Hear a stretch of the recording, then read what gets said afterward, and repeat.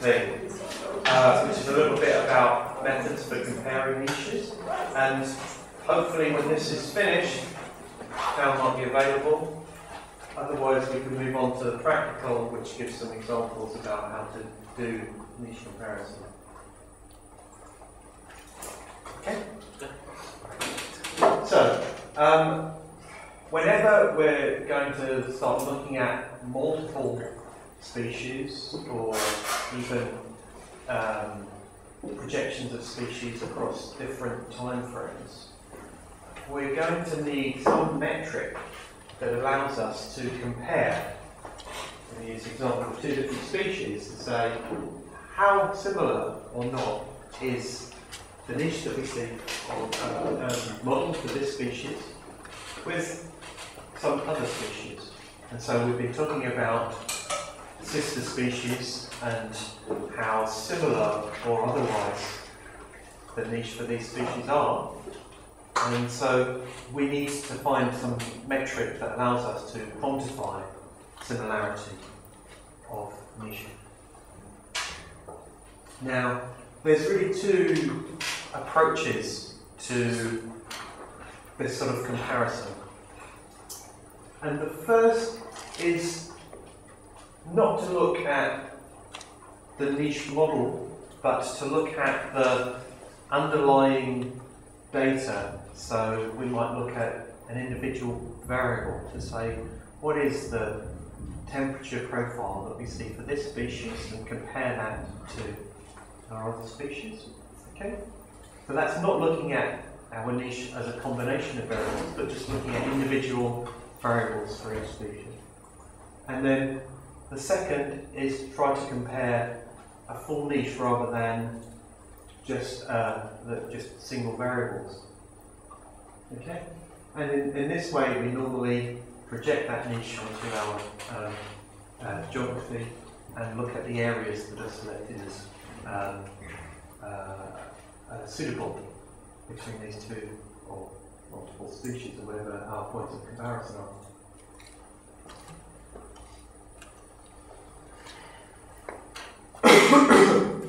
Now I'm going to contradict myself because the first method really can split into two different um, approaches. The first is we directly compare observed values. So what's the minimum temperature for this species? What's the maximum temperature for this species? Okay, that's a really simple comparison. The second is that we want to um, look at more than one variable at the same time.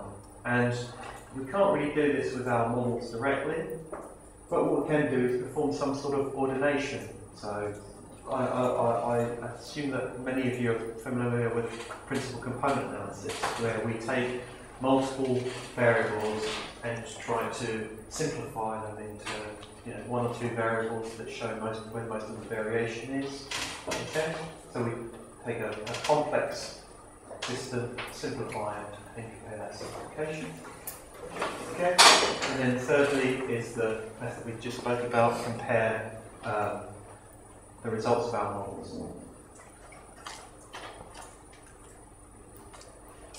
Uh, this is just a, a slide I really like now. Um, but um, the, the, the, way that we do the first step is to find out what the minimum and the maximum temperature for our species is. So mechanistically we do this by taking our distribution data, drilling down into our climate layers, and picking up a data matrix that says point one, that's the lat, that's the log, that's the temperature, that's the precipitation. Okay, we get a data matrix and we can analyze this data matrix. Okay, there's lots of different ways that we can do that with a GIS, with uh, a whole bunch of packages in R or um, this uh, modeler example. Yeah, so we're going to go into detail about how we compare observed values.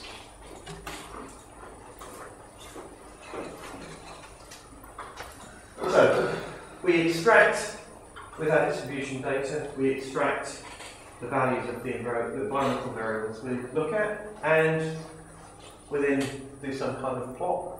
It's a simple way of just trying to compare. So here's a bunch of cyclamen species. Okay, it's a small flowering plant. And all we've done is plot the range. So the little dots show the, the, the um, um, average uh, of this is, uh, I think that says precipitation in the wettest month or something like this. And we can see that this species has a, a, a massive range of um, environmental stability, and this other species has a very narrow range. And this is environmental range, not geographic range. And we can compare uh, different species and say what's the what's the what's the observed um, range of these climatic parameters. And we can talk about which are similar and which are very different. A sort of the same sort of approach, but slightly more complex, is rather than just look at the range, we can look at the distribution profile of, of these. So here's the bean plot where the thicker uh, the bar, the um, more observations we have at that particular um, environment uh, parameter. So here, temperature. So the, the fact point says that most of these species are found at about 4 degrees C. Okay? And if you look at the profile of these species and say, you know, where's the where's the core environmental preference? Okay? And another way of, of, of displaying this, same data, but we have a profile of each species. We can visually compare one the other, and we can do um, some kind of uh, stat sets and say, is this very different from? But this is all um, pretty obvious standard stuff. And to be honest, when you're doing when you're doing your modelling, you should always look at the responses that you get just from the original data set. So, I mean, for me, every every time I take a model, I get my distribution points. Spend some time cleaning them, obviously, seeing what's good and what's bad, and then I look at the um, raw environmental data I get by drilling down on these points. That tells me something. Yeah. I mean, it might tell me that if I get a peak here and I get a peak here, then I've got some dodgy records, and I might go back and look at them again. And then, know, so it's part of the data cleaning process to understand what's going on. And then you understand, okay, this looks realistic for my species because people have reported that this is the range that we see in. Okay? It's a reality check. It's discovering something about your data, and then it's comparing the different species. Now, this example is actually something slightly different because this is not based on the distribution data. So this is not take their points, read off the environment at that location. This is actually based on the model. So here the model and then the projected area of, of, of suitable distribution, and then they've then drilled down into that to say, okay, of the area that's predicted as suitable, how many pixels are at this temperature range, how many pixels are at this temperature range. How is that different from looking at the model rather than looking at the distribution points? How is it different? Model, you're looking directly to fundamental niche. Here you're looking at the distribution. Yeah. So you're actually looking at two different things, and depending on your question, you, you, you, might, you might choose to look at the output of your model, to look at the profile that you think is uh, perhaps more um, realistic of your um, realised niche, and this is more perhaps reflective of any sampling bias that you have. Okay? Anyway, so this is a zoom uh, from this uh, 2013 study where they've just taken their model, model. So, uh, in some way, it's equivalent to a um, response curve. Okay, so we can look at um, comparisons in many ways, and one way that we're interested in is looking at relationships between uh, you know, general or groups of closely related species. And so there's this um, there's this nice tool in Phyloclim that basically takes a phylogeny and then draws the branches based on your environmental parameters, so you can get a sort of nice overview of how species are related to each other and how similar or different their um, environmental um, um, preferences are. This isn't the best formatted example, but um, so you can see that here we've got two closely related species, but um, uh, their uh, temperature preferences are, uh, well, the mean temperature preferences are different, and here's the spread. So you can see that actually one completely encompasses the other, but different.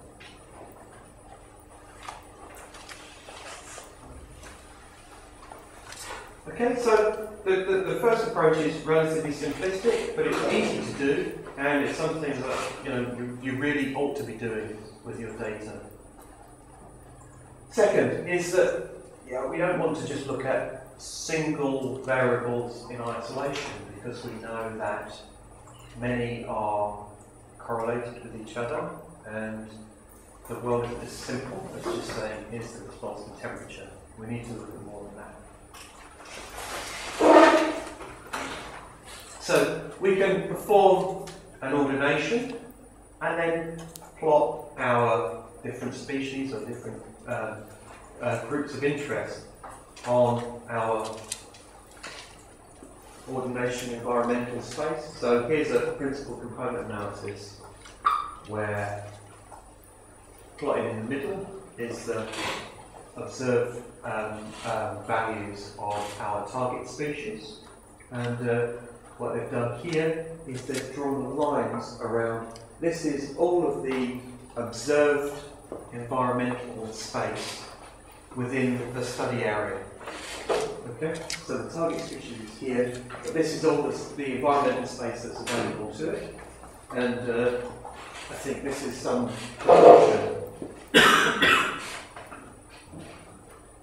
yeah, 100% and 50% of the available background environment. So we can see how tight an environmental space our organism is to be available. Yeah? Does anybody have experience with this method? No. What, um, no, because I've been using it quite some time. And, and something behaves really strangely, and nobody has assessed it. It's published, they put a script on the website, lots of people now start using it, but when you start playing with it, it gives you yeah. something really strange But results. I'm just wondering. principal coordinate analysis, uh, principal component analysis is old, old tech. It's not. Yeah, but there's lots of like things in it. And for instance, it says it's not influenced by background choice, is not true. So there's, uh, I'm just wondering if anybody has. Yeah. No, I, I have, don't have direct experience with the tool that they use to, to do this, but principal component analysis is pretty simple stuff, really. Yeah. Uh, but whether these have got extra features that do something different, I don't know. But anyway, so what they did here is that they looked at a, a species that um, has got a um, native range and an invasive range. And when they plotted it on the PCA, they found that actually the invaded range and the native range are separated a little bit in environmental space. Okay? And so they used this as evidence for a niche differentiation between the, the um, native range and the invaded range.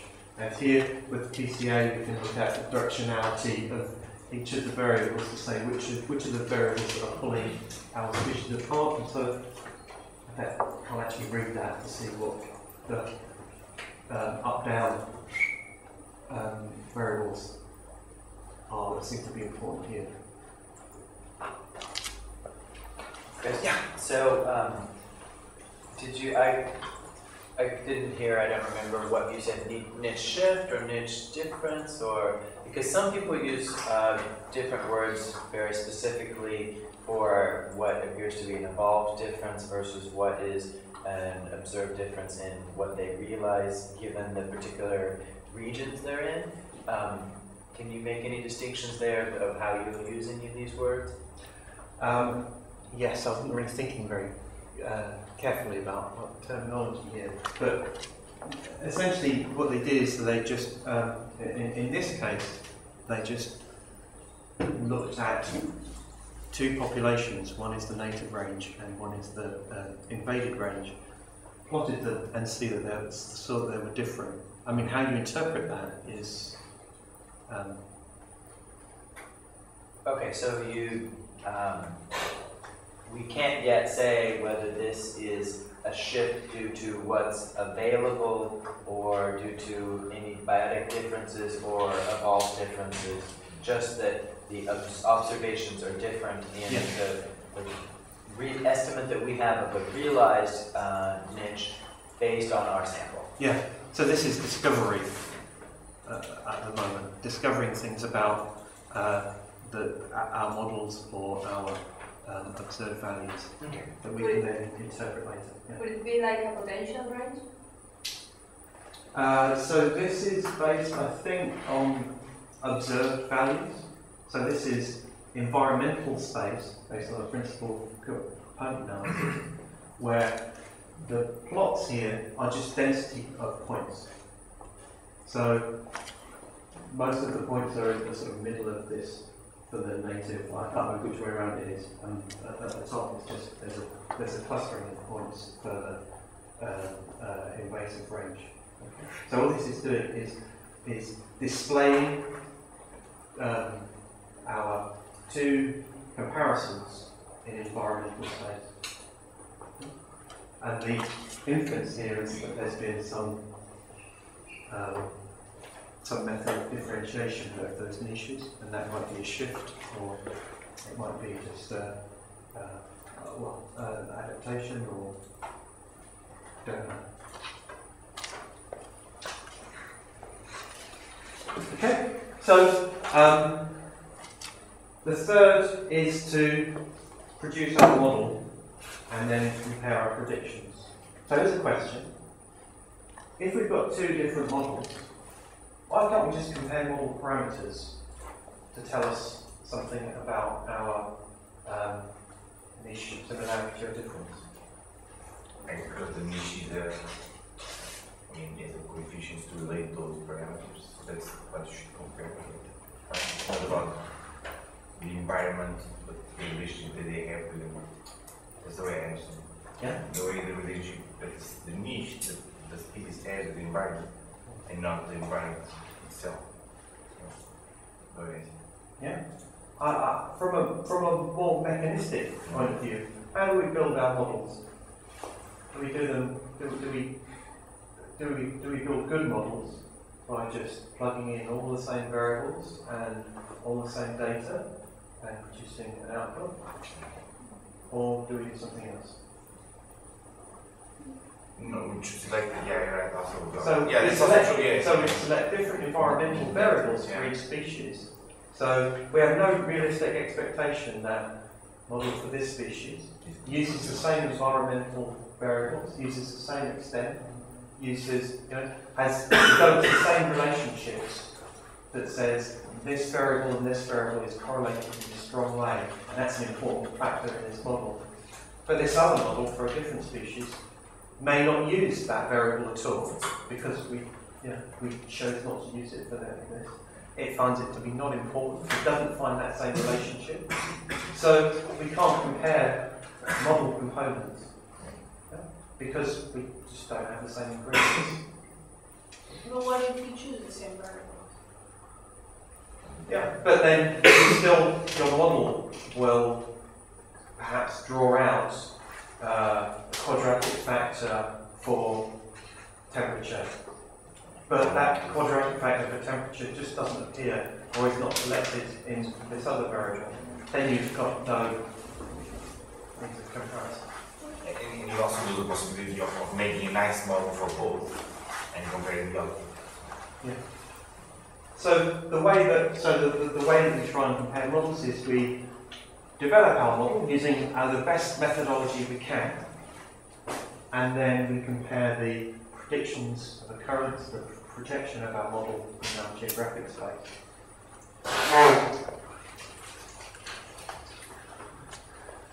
Okay, and essentially that's um, what I've just said. So what we're going to do now is we're going to compare our predictions of suitability. So the areas that we're predicting is suitable for one species and another.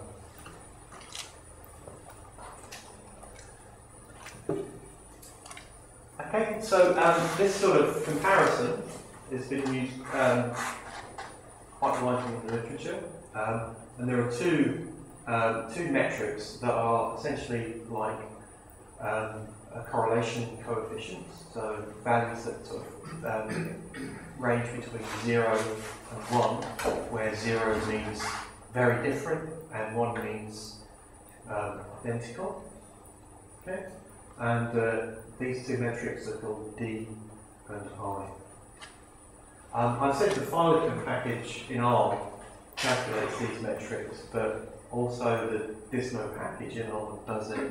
Um, SDM Tools does it, um, probably E&M Tools that does it as well. So um, it, it, it's actually um, widely available in, in lots of different um, uh, software packages. So, um, how to say it? Shown as D um, ranges from 0 to 1, and this is the um, mass, if you um, care about the mass. Okay? And it, it's essentially just a comparison of the uh, probability of occurrence or our habitat stability value um, at each location. Okay? And then this is based on the geographic space or on the physical space? geographic space. So uh, each each um, each point that we're considering is basically a pixel on our grid.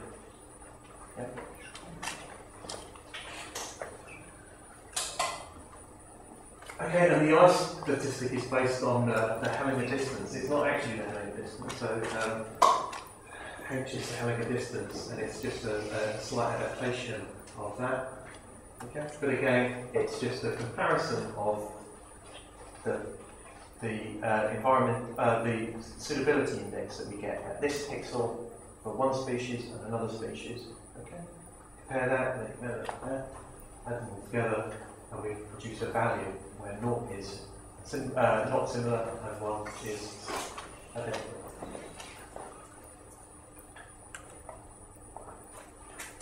Okay, so what we end up with is a bunch of models, and we can directly calculate our D and our I metrics, and we end up with some numbers that look like, uh, I guess you're familiar with correlation coefficients, and these are, we could interpret these as correlation coefficients in some way, that uh, high numbers, so here, with the I statistic, it says Drosera binata and Drosera peltata are the most similar because they get a value of 0.5. So binata and peltata distributions are most similar, and the most different are actually change between which metric we look at. So the lowest value for the I is 0.31, that's Gigantea versus binata and the lowest value for the D metric is 0.2, 0.2, which is Gigantea and peltata. Okay, so two different metrics, they're not going to produce exactly the same results because they have different maths behind them. So we need to keep that in mind. Uh, generally, people report both metrics, um, but um, uh, can't remember which way around it is, but I believe that D has been shown to be uh, uh, to, to, to, be slightly um, worse performing than the I. Anyway, you can do this in R code, and our um, practical later is, is going to essentially do this.